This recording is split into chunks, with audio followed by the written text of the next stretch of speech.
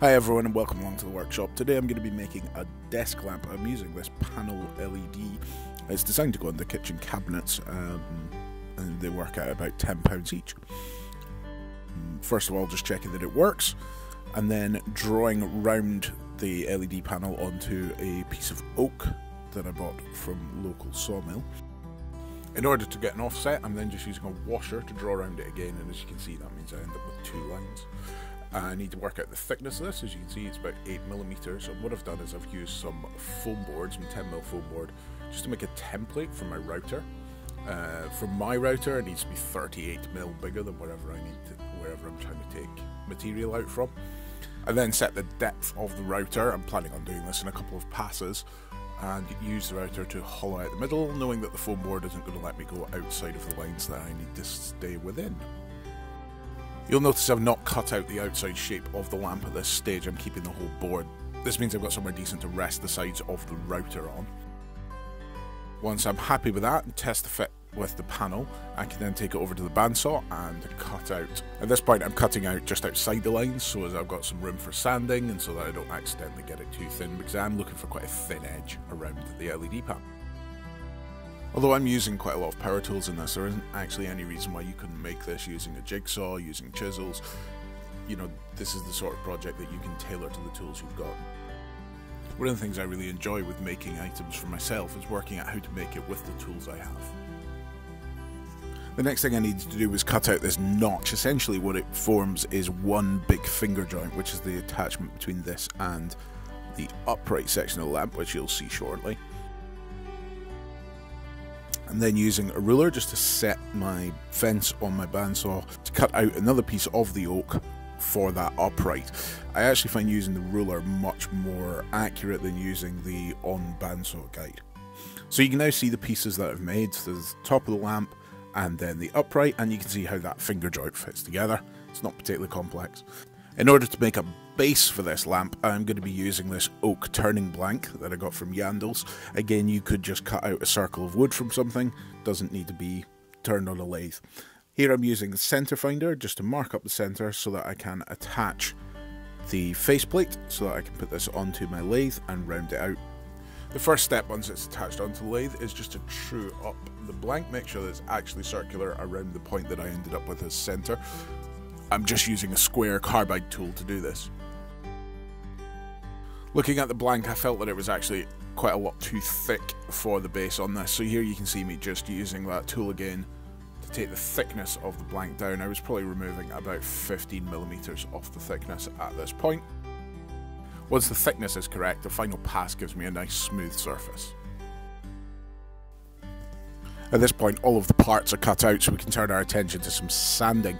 The first thing I did was use this belt sander just to go over all the parts and you'll see that I'm also using it to round over the corners, do some final detail shaping on the top of the lamp piece. And then also using the belt sander to create the right angle for the upright.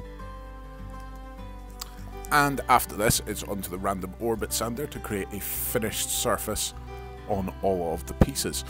In order to get that nice finish, it's important to use a range of sandpaper grits. So in this instance, I used 80, 120, 180, 220, 320, and 400 grit. I perhaps should have done this before all of the sanding, but the next stage I did was to route out a channel for the cable to run down the main upright of the lamp. I've just used some bits of wood taped to my bench to give me a guide for that. Um, following that, and then drill a hole in the end for the cable to pass through between the channel and the head of the lamp. Having clamped the two pieces down to the bench, I then use a pilot bit to start a hole through the finger joint and then come back with a larger bit to make this the right size for the pin that I'm going to use to attach the hinge. So now it's time to start with the final assembly of the light. First thing to do is to stick the LED panel in. I'm just using a pencil there to line it up. Um, I'm then going to use some Milliput, which is an epoxy putty, to fill that channel now that I know exactly where the cable sits in it. For Milliput, I'm sure it's the same with a lot of these epoxies. You cut equal sized pieces of the putty itself and the hardener and then the task is to just smoosh that together until it's all thoroughly mixed through. It's a lot easier to do if your workshop isn't cold. You can see how hard I'm having to work to get that to blend to start with. Basically, just keep moving it and with your hands it will smooth out. What I've done, rolled out a long piece and I'm just pushing it into that groove over the top of the cable. Doesn't really matter if it's particularly neat, as long as that groove's completely filled, then it will be all dealt with by me coming back with a sander. The milliput takes three or four hours to set up, so whilst that's happening, I can get the base over to the drill press and get a hole drilled through for the cable. And then flipping the base over, I can then use my router to create a channel so that the cable has a way of escaping from under the base. I don't really want to put feet on this, so I need to create this channel.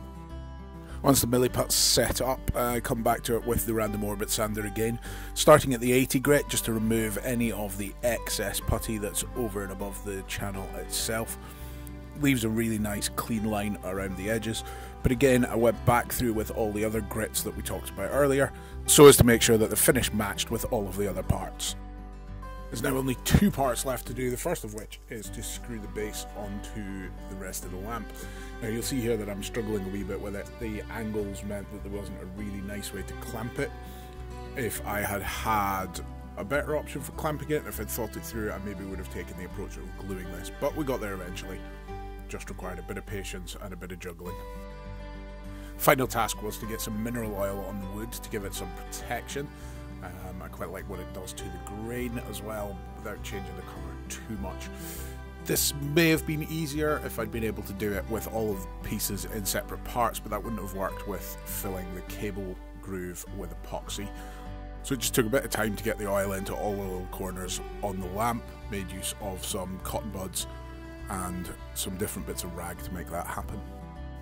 So there we have it, one completed lamp. I'm really pleased with how this turned out. The entire thing cost me less than £25 in parts, and I'm not sure I would have got a lamp that I like quite as much for that much money.